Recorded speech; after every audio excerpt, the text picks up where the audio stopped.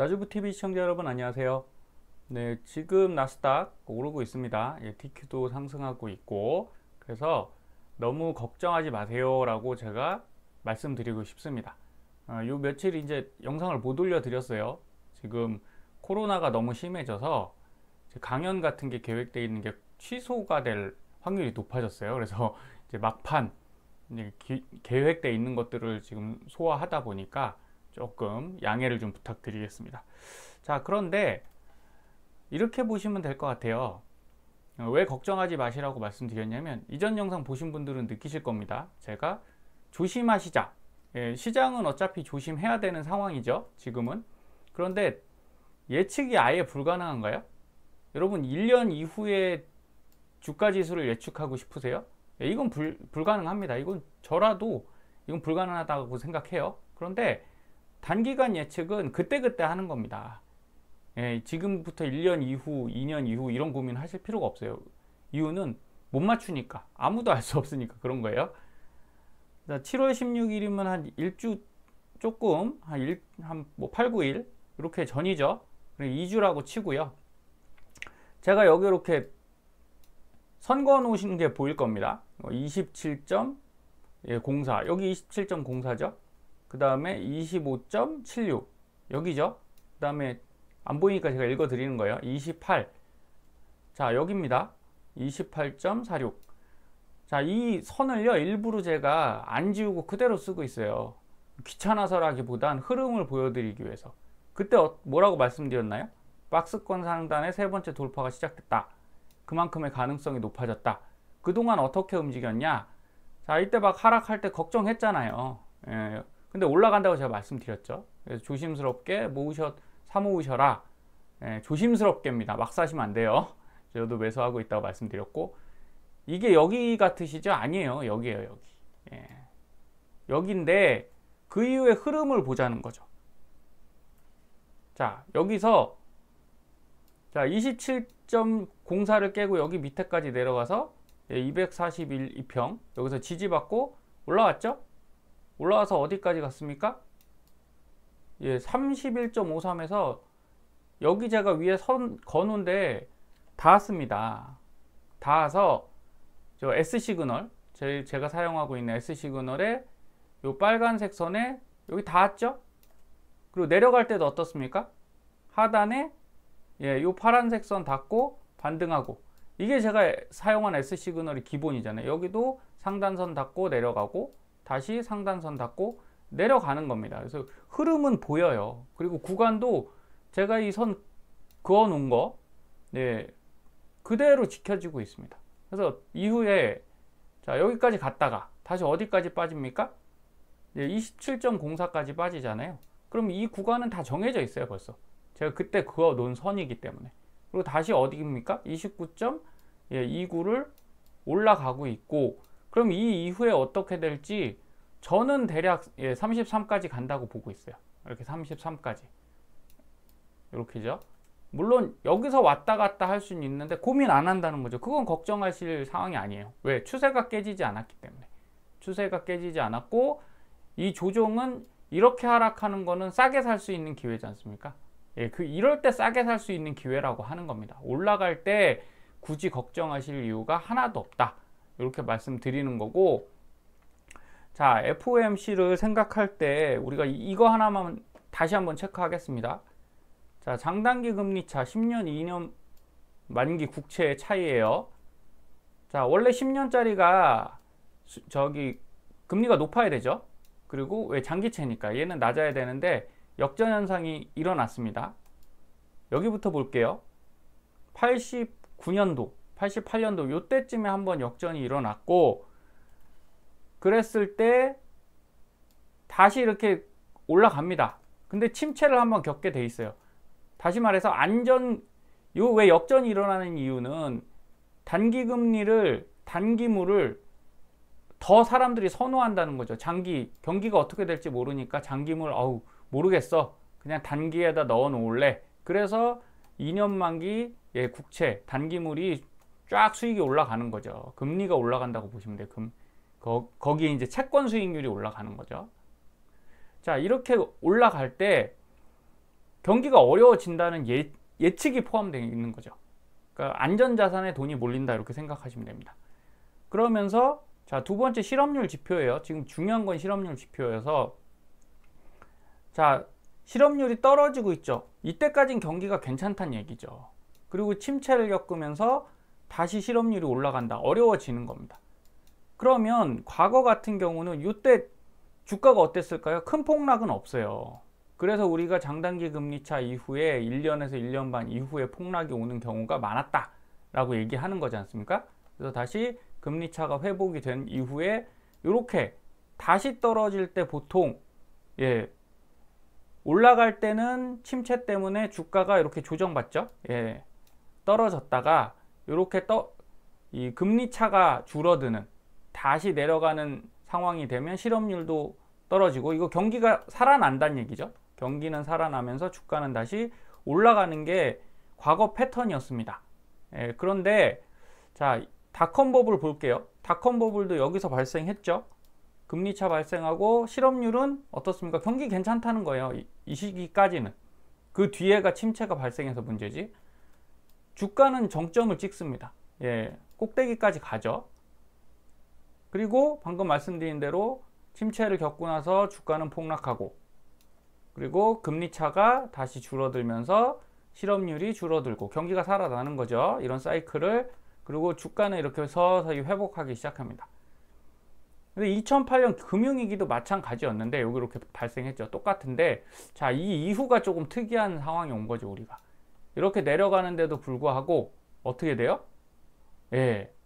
실업률이 계속 떨어지죠. 이때 양적 완화에 의해서 미국 경기가 너무 좋았죠. 그러면서 주가가 거의 조정 없이 계속 상승하는 이런 특이한 상황이 왔어요.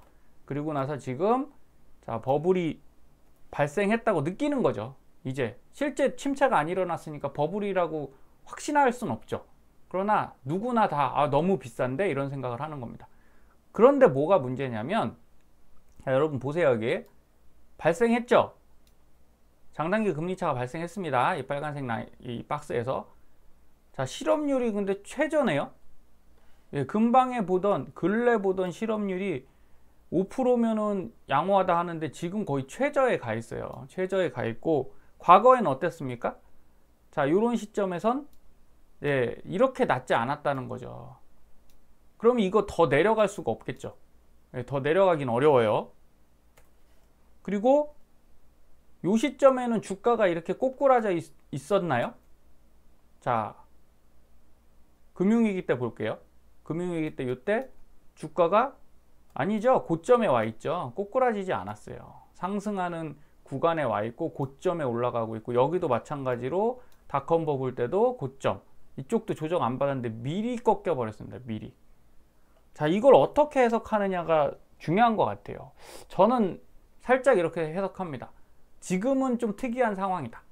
예, 가장 큰 이유가 원래 여기 코로나 때 부딪히 여기 저점이 왔었겠죠. 예, 역전이 일어났을 건데 이거를 강제로 우리가 살려낸 거잖아요. 돈을 풀면서 살려내서 금리를 이때부터는 내렸어야 돼요. 예, 요때부터.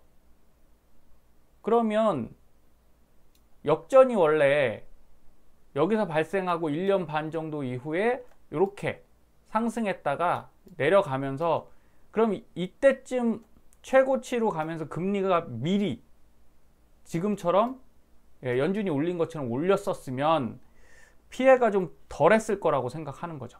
근데 안 올렸잖아요. 그쵸? 연준이 안 올렸고 이제 와서 올, 올려버리니까 여기서 그냥 crash가 발생한 것 같아요.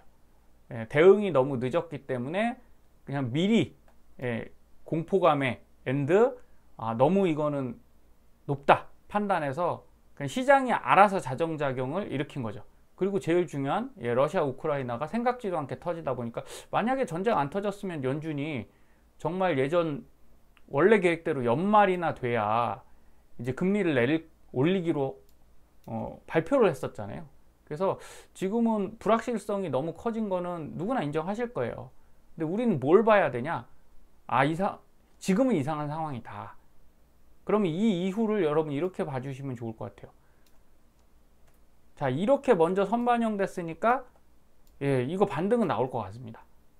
상황보다 너무 많이 빠졌으니까 과대낙폭이죠. 그런데 이렇게 빠진 이유가 뭐예요? 안 좋아질 거다라고 대부분 생각을 하시기 때문에 그렇죠. 그러면 연준이 이제 다시 금리를 올렸다가 내리는 상황이 오잖아요. 이때는 연준이 인정을 하는 겁니다. 야, 경기 진짜 안 좋다. 그리고 도장 꽝꽝꽝 찍어버리는 거죠. 그러면 주가가 다시 올라갈 수 있을까요? 못 올라갑니다. 그래서 두 가지 케이스로만 생각해 보셨으면 좋겠어요. 첫 번째는 연준이 금리를 인상, 계속 인상하는 건데 소폭 인상하는 상황. 차라리 이게 더 나을 것 같습니다. 예, 이게 어, 떻게 어떻게 뭐 연준 의장하고 예, 옐런 재무부 장관하고 뭐 쿵짝쿵짝해서 잘 끌고 가면 뭐 1, 2년 버틸 수 있지 않을까 이렇게 생각이 드는 거고요. 그런데 만약 진짜 금리를 내려버리는 상황이 오잖아요. 여러분 그냥 침체를 인정하는 거예요. 연준이 왜 내리겠습니까? 힘드니까 내리는 거고 그 정도 계산 다 하고 있는 상황이거든요. 이때 되면 주가 정말 예, 박살날 수 있습니다. 그래서 우리가 이렇게 유지하면서 소폭 상승과 예, 한 번의 하락이 더 있다고 생각할 때 얘는 큰 수익을 내기가 쉽지 않잖아요. 그래서 지금은 무조건 안전해야 된다. 예, 이렇게 그냥 생각하시는 게 편하지 않을까. 그리고 여기서 반등한다고 해도 늘, 그 늘 말씀드리잖아요. 이게 정고점 가기는 상당히 쉽지 않다. 여기서 한 그 나스닥 포인트로 계산해서 한 13,000까지는 다시 갈 수 있을 것 같거든요. 그러니까 이때 무조건 현금화 해 놓으십시오. 손절을 감안하시더라도 현금을 해 놓으셔야 여러분이 다음에 올 수 있는 그 기회, 예, 정말 싸게 살 수 있는 기회를 다시 잡으실 수 있어요. 그건 손실이 아닙니다. 예, 무조건 그거는 명심을 해 주시고요. 자, 결국 TQ가 이렇게 예, 일봉상 오늘 올라섰죠. 그리고 60일 이평선을 드디어 깨고 올라왔단 말이에요. 예, 나쁜 시그널 아니고 그리고 여, 그 60분 봉에서 다시 한번 보겠습니다. 다시 한번 보면 결국은 이 S 시그널을 따라서 움직이고 있는데 여러분 잘 좀 보세요. 241 2평에서 지지 받았잖아요. 그쵸? 그러면서 지금 60일 2평까지 지지를 받았단 말이에요. 그러면 이거 대부분 올라갑니다. 예, 조정 받더라도 올라가는데 자 일봉상에서 보면 예, 그동안 출연 안, 안, 했던 S 시그널 다시 나오죠. S 밴드죠, S 밴드. 자 여기 점선 보이시죠? 예, 요게 33 정도예요. 33. 그 다음에 여기 빨간 선. 예, 36 정도입니다. 그러면 이때 예, 가능한 뭐 손절이시든 익절이시든 한 번씩 해놓으세요. 예, 저는 이거를 추천드립니다. 왜? 이 이상 뚫고 갈 수도 있지만 그래도 현금화를 해놓으셔야 그 이후에 벌어질 문제 예, 연말까지 뭐 12월 산타랠리까지 쭉 올라갔으면 좋겠어요. 그러나 음, 알수 없는 상황이 너무 많잖아요. 그리고 제일 중요한 건 요번 FOMC의 금리가 아니죠. 이거는 벌써 인플레가 어느 정도 잡혔고 잡혔다기보다 이제 피크아웃을 예상을 하고 있죠. 유가도 지금 내려왔으니까. 예, 그렇기 때문에 요번에 뭐 75bp 가는 게 대단한 건 아닙니다. 누구나 다 그냥 예상하고 있는 건데 다음번이 문제죠. 다음번에 0.5로 갈지 75로 갈지 50으로 갈지 진짜 100으로 갈지 뭐 100까지는 안 가겠죠. 예, 이게 더 큰 영향을 미칠 거니까 3개월 이그, 이후가 더 위험한 거잖아요. 지금. 그러면 그 3개월 안에 반등한 시점에서 현금화를 좀 해놓으시는 게 훨씬 안전하다 이렇게 말씀드립니다. 그리고 지금은 자 여기 MTS용으로 보더라도 저 S배 그 볼린저 밴드 제가 설명드렸었죠. 예. 이렇게 됐잖아요. 자 중심선이 이렇게 와서 올라가고 있는 추세입니다.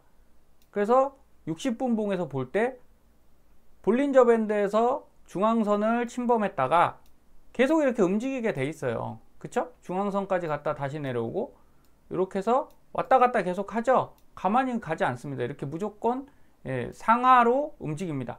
근데 여기서 이제 중심선 다시 깨고 올라왔잖아요.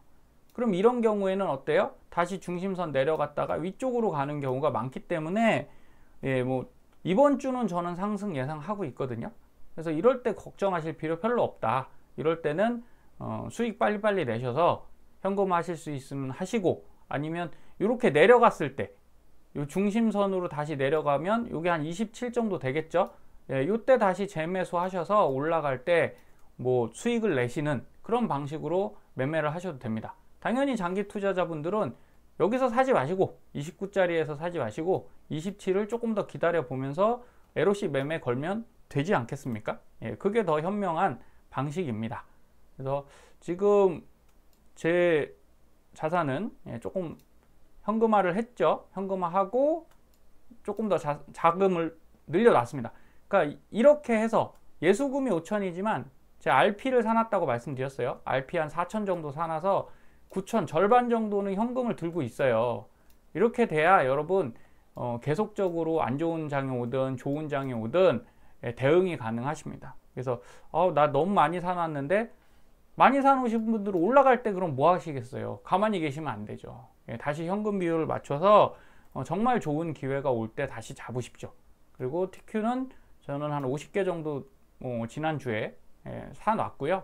이렇게 해서 좀 늘리고 있습니다. 그래서 지금은 늘리는 추세다. 이 정도 보시면 될 것 같아요. 여러분들께 강조드리는 것 중에 하나가 뭐 이전에도 말씀드렸지만 저는 지금 단기 매매를 좀 잘 해보셔라. 자, 여러분 TQ도 단기 매매 하시라니까요. 예, 뭐 단기로 하면 돈 못 번다. 아니요, 저는 해보니까 단기로 해서 돈 못 벌지 않더라고요. 어, 지금 같은 하락장엔 뭐예요? 안정성이 높아지잖아요. 계속 현금화를 하기 때문에 못해서 그렇지 하실 수만 있으면 예, 훨씬 유리합니다. 그래서 지금 3주 전에 뭐 국내 주식도 이렇게 제가 몇 번 말씀을 드렸어요.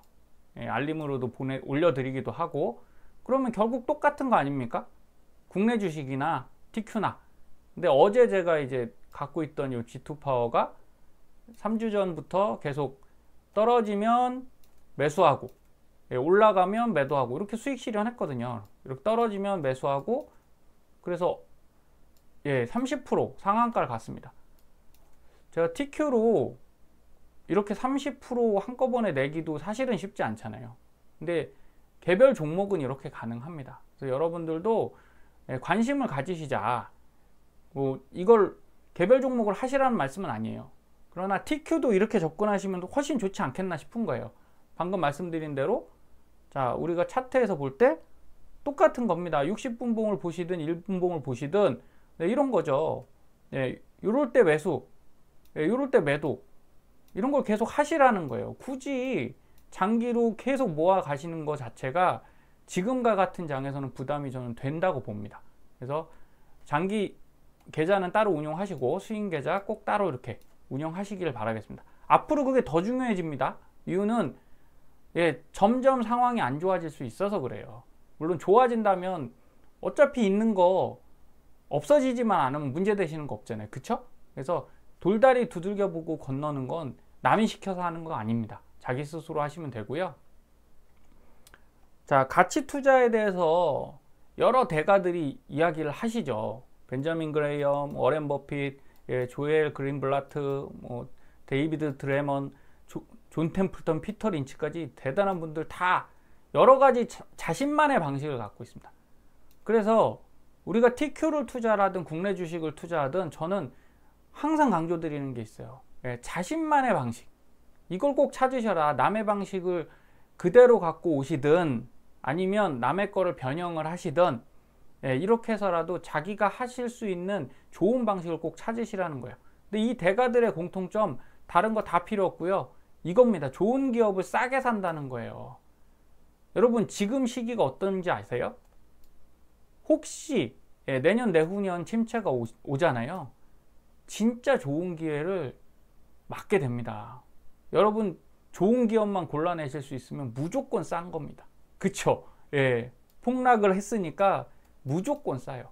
이럴 때 사셔야 된다고 이럴 때. 지금 예, 조금 샀다가 뭐 이렇게 수익 내고 이런 게 중요한 게 아니라 정말 싸진 타이밍에 여러분들이 좋은 기업을 그냥 덥석 사시려면 첫 번째 뭐가 돼야 돼요? 예, 시장의 흐름을 아셔야겠죠. 두 번째 뭐가 돼야 돼요? 현금이 있으셔야 된다고요. 근데 현금이 없이 예, 자꾸 더 싸게 사서 모아만 가시려고 하면 더 좋은 타이밍을 놓치실 수 있는 우를 범하게 됩니다. 그래서 절대 지금은 현금 보유 다시 한번 강조하고요.